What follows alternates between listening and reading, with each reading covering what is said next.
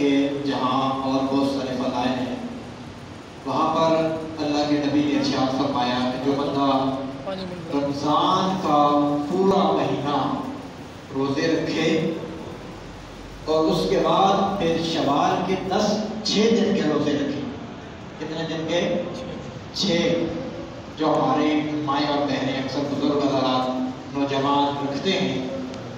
लेकिन उसके लिए एजाज क्या है? इनामात क्या है? अल्लाह की तरफ़ से क्या उसको तोहफा दिया जाएगा? फरमाया जो बंदा रमज़ान का पूरा महीना रोज़े रखे और उसके बाद शवाल के छः दिनों के रोज़े, इसमें चूँकि हम हनाफ हैं, हमारे नज़दीक जो हमारे ने लिखा है वो ये है कि शवाल के रोज़े इस तरह रखे जाएँ यानी इनमें तफरी की जाए। सिर्फ़, यानी पे दर पे छः रोज़े ना रखे जाएँ उस तरह भी आप रख सकते हैं, जायज़ है, नाजायज़ नहीं है। लेकिन यानी आप जुमरात को रोज़ा रखा, जुम्मे को छोड़ दिया, फिर हफ़्ते को रखा, इतवार को छोड़ दिया, यानी इस तरह करके भी आप रख सकते हैं और इस तरह अफसर है। जिस तरह आप माह रमज़ान के अंदर पे दर पे पूरा महीना रोज़ा रखते हैं, वो तो फ़र्ज़ है। उसमें कोई हम ऊंच नीच नहीं कर सकते, ना जायद कर सकते, ना घटा सकते, ना बढ़ा सकते। हैं लेकिन शवाल के रोज़ों में हमें इख्तियार है। और मैं इसमें आप मुतफरक अंदाज से रोज़े रखें। इन एक दिन रोज़ा रखें, फिर इफ्तार कर दें, फिर दो तीन दिनों के बाद फिर रोज़ा रख। इस तरह छः दिन के रोज़े भी हो जाएँगे और सवाब भी आपको मिल जाएगा। कितना बड़ा सवाब है अल्लाह के नबी ने फरमाया, जो बंदा इस तरह करेगा, उससे पूरा साल रोज़ा रखने का सवाब अल्लाह ताला फरमाए। यानी ऐसा है तो उसने सारा साल रोज़े रखे। रोज़े कितने रखे हैं? छः सवाब कितना है? पूरे साल का।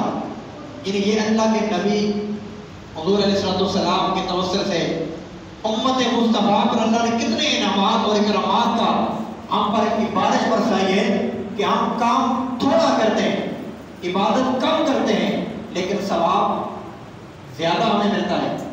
सवाब हमें ज़्यादा अल्लाह ताला की तरफ़ से हमें सवाब ज़्यादा मिलता है। ये क्या अल्लाह के नबी हजूर सलाम के तवसर से अल्लाह ने हम करम किया। चूँकि जुम्मे के दिन के फजाइल वैसे ही बहुत ज़्यादा हैं। बाकी सारे दिन अल्लाह ने बनाए। लेकिन जुम्मे के वाले सफ़र में जुम्मा उससे ये तो अयाम सारे दिनों का सरदार जुम्मा है। जिस तरह सारे महीने अल्लाह के हैं। लेकिन उनमें से रमज़ान का महीना सब पर भारी है। सबसे ज़्यादा अहमियत और फजीलत वाला महीना है। इसी तरह सारे दिन अल्लाह का है। लेकिन ये जो जुम्मे वाला दिन है, इसके फजाइल इसके मराकब और इसका हुक्म अल्लाह ताला के हाँ बाकी दिनों से ज़्यादा है। क्यों ज़्यादा है? अज़ीज़ का अगले अल्फाज है। और मैं इसलिए इस दिन आदम सलाम को पैदा किया। और इसी दिन आपका विशाल हुआ, इसी दिन जन्नत से निकाला गया, और इसी दिन क़यामत कायम होगी। जुमे वाला जब दिन आता है इसका तरफ़ आता है कि सारे फरिश्ते काँप रहे होते हैं ज़मीन और आसमान के कि कहीं क्यामत ना आ जाए। क्योंकि जुमे वाले दिन क्यामत कायम होगी? जब क्यामत आएगी तो दिन जुमे वाला होगा। और दूसरा, हज़रत आदम सलाम की विलादत जुमे वाले दिन हुई, और इसलिए फरमाया जो बंदा जुमे वाले दिन नए कपड़े पहनेगा, उससे मुराद ये कि साफ़ कपड़े। ये मुराद थी कि हर जुमे को नए कपड़े, साफ़ कपड़े, धोकर अच्छा लिबास, गुस्ल करेगा, नाक तराशेगा सुरमा वगैरह लगाएगा इसके अलावा खुशबू लगा के मस्तर को आएगा और मैं अल्लाह ताला अगले जुम्मे तक उसके सारे गुनाहों को माफ़ फरमा। फिर ये क्या है? ये अल्लाह ताला की कितनी कर्म नवाजियाँ हैं उम्मत मुस्तफ़ा पर। हम पर कितने कर्म हैं कि हम छोटे छोटे आवाज़ करते हैं, हमारे गुनाह अल्लाह मिटा देता है। नमाज़ के लिए आते हैं, हदीस के अल्फाज जो बंदा वज़ू करता है, जब हाथ धोते हैं, हाथ के गुनाह धुल जाते हैं। मुँह में कुली करता है उसके गुनाह खत्म। नाक के चेहरा धोता है और हाथ धोते हैं, पाँव धोते हैं। जब वज़ू करके फारग होते हैं, अल्लाह ताला उसके सारे गुनाह, यानी गुनाह सगाए जो छोटे गुनाह हैं, अल्लाह उसे माफ़ फरमा देता है। और याद रखें, जो बड़े गुनाह हैं, उस वक्त तक माफ़ नहीं होते, जब तक इंसान सच्ची तोबा ना करे। सच्ची तोबा हम करेंगे अल्लाह की बारगाह में, अल्लाह हमारे गुनाहों को माफ़ फरमा दे। और चूँकि जुम्मे के फजाइल तो ज़्यादा है? मुस्लिम शरीफ के हदीस हजूर ने फरमाया कि अक्सर यौम जुमा मशहूद और मैं जुमे के फजाइल इसलिए ज़्यादा हैं कि ये योम मशहूद है। क्या है योम? गवाही है, इस दिन फरिश्ते नाजल होते हैं। कौन नाजल होता है? फरिश्ते। और फरमाया तुम इस दिन मुझ पर कसरत के साथ दुरूद सलाम पढ़ा करो। यानी अल्लाह के नबी खुद कह रहे हैं अक्सर अलैया, योमल जुमा कि कसरत के साथ। कसरत किसे कहते हैं? एक दफ़ा नहीं, बल्कि ज़्यादा से ज़्यादा, कम अज कम तीन सौ तेरह मरतबा। हजूर की बारगाह में दुरुद सलाम पढ़ा जाए। और आगे बड़े मज़े की बात है आप सबके लिए। और अकीदा या सुन्नत भी यहाँ बयान हो रहा है साहबा ने पूछा यार जब तक आप ज़िंदा हैं तो वहाँ पर आप हम आप पर दुरुद सलाम पढ़ेंगे और जब आपका विसाल हो जाएगा फिर क्या करेंगे? आज के लोगों के में ये ख्याल आता है ना ये शिको को शुभात अब तो हजूर सलाम दुनिया से चले गए आप हम कैसे दुरुद पढ़ें। ये बकायदा मुस्लिम शरीफ आप उठा के देखें सियासत की किताब है। और सारे जितने भी मसाले के सब इसे मानते हैं। सब यहाँ और साहबा ने पूछे, यार आपके विसार के बाद क्या होगा? अगर ये हदीस क्या है? अकीदा याद सुन्नत वाजे हो रहा है। इसे उन्होंने फरमाया इन अल्लाह ताला हर्रमा अलल अर्द अत्ताहुल अजसाद नबिया फरमाया, अल्लाह ने ज़मीन पर हराम कर दिया है। क्या कर दिया है? हराम कर दिया है कि वो अंबिया के जिस्मों को खाए। यहाँ से उन लोगों के अकीदे की रद्द हो रहा है जो कहते नबी मर गया और खत्म हदीस कह रही है कि अल्लाह अल्लाह ने ज़मीन पर हराम कर दिया है। तो जितने भी अल्लाह के अंबिया हैं, चाहे आदम हो या नूह सलाम हो, वहाँ से लेके मुस्तफ़ा तक जितने भी आए, अल्लाह ने सारे अंबिया के जिस्मों को ज़मीन पर हराम कर दिया है कि ज़मीन इनके जिस्मों को बस भी करे सारे अंबिया अपनी कब्रों में ज़िंदा है। क्या है बोलिए? ज़िंदा हैं। और आगे अगर फन कमा सारे अम्बिया अपनी कब्रों में ज़िंदा हैं और उन्हें रिजक भी दिया जाता है। उन्हें रिजक भी दिया जाता है। ये है हदीस है और कुरान से दलील सुने। यार सोचो कि एक आम बंदा जो ना आलिम हो ना फाजिल हो ना सारी हो ना मुफ्ती हो ना पीर हो सिर्फ़ एक मुस्तफ़ा का उम्मती हो बोला सिर्फ़ जिसने हुजूर का कलमा पढ़ा है कुरान कहते वला तहसबन अल्लज़ीना कुतिलू फ़ी सबीलिल्लाहि अमवाता और मैं, जो अल्लाह की राह में मारा जाए इलाही कलिमतुल्लाह, कि जो हमारे फौजी भाई शहीद होते हैं, या कोई और बंदा अल्लाह की राह में जिहाद करते करते कोई मुजाहिद शहीद हो जाता है, कुरान क्या कहते हैं, वला तखसबन्नल्लज़ीना हार के तो उसे मुर्दा ना कहो।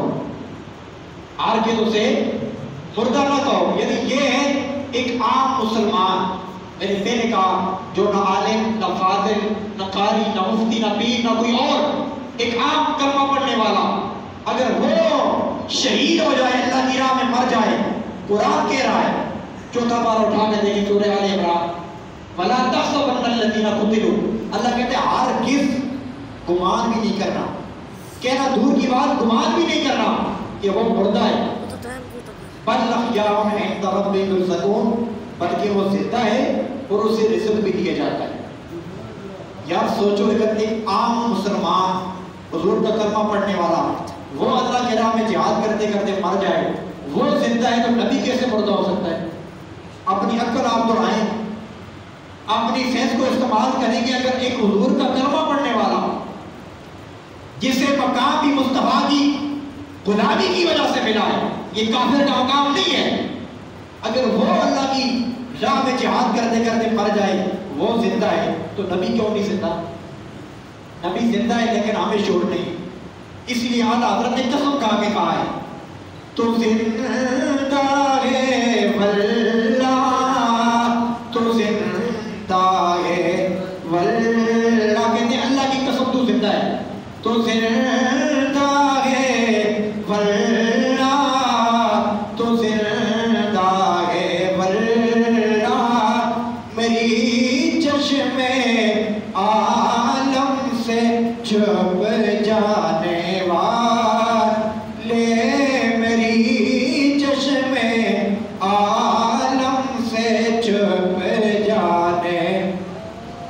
चमके तुझसे पाते सब पाने।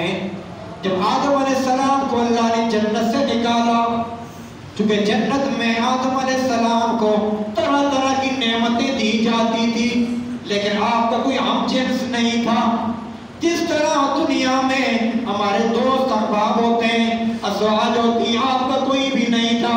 जनाब आदम सलाम पर अल्लाह ने ऊँग जबरील को हुक्म दिया, ए जबरील जाके आदम सलाम की, बाएँ पसली को निकालो, उससे हज़रत हवा को पैदा करो। बाएँ पसली को निकालो, ऐसे निकालो, आदम सलाम को पता ही ना चले। बाएँ पसली को निकाला गया, हज़रत हवा सलाम को पैदा किया गया, और पैदा करके जन्नत के सत्तर जोड़े पहनाए गए, और सोने की कुर्सी पर बिठाया गया। जब आदम सलाम बेदार हुए देखा इतनी सीरो ज़मीन, एक औरत बैठी है आपने कहा, कौन है? कहा मैं हवा किस लिए? फरमाया मुझे अल्लाह ने तेरे लिए पैदा किया सोचिए अगला बात। और फिर आदम सलाम जो इसके करीब हुए, आपने फरमाया, आप करीब आ जाए करीब हुए, हाथ लगाना चाह, आवाज़ आई, ए आदम, रुक जाओ, हाथ नहीं लगाना। पहले मार अदा करो। क्या अदा करो? हक मार अदा करो। और फिर आदम सलाम का निकाह अल्लाह ताला ने जो निकाह का सारे मामला हुए। फिर आपने कहा मौला में क्या मार अदा करो? सोना, चांदी, जेवरात, ये इसके अलावा और यकूत वगैरह फरमाया नहीं फरमाया याद क्या अदा करूँ? नमाज़ पढ़ूँ, ज़िक्र जो है वो करूँ, ये तस्वीर पढ़ूँ? फरमाया नहीं फरमाया आदम सिर्फ़ दस मरतबा। कितनी मरतबा? दस मरतबा। मेरे आखिरी नबी पर सलाम पढ़ो, यही तुम्हारा मार। आदम सलाम का मार भी दुरूद शरीफ है क्या है? दस मरतबा दुरूद शरीफ और आज कहते हैं दुरूद शरीफ नहीं पढ़ना चाहिए। तो यार हमारा बाबा जिससे ये कायनात चली, उसका मार तो दुरूद शरीफ है। उसकी वजह से अल्लाह ने अजवाज को हलाक कर दिया।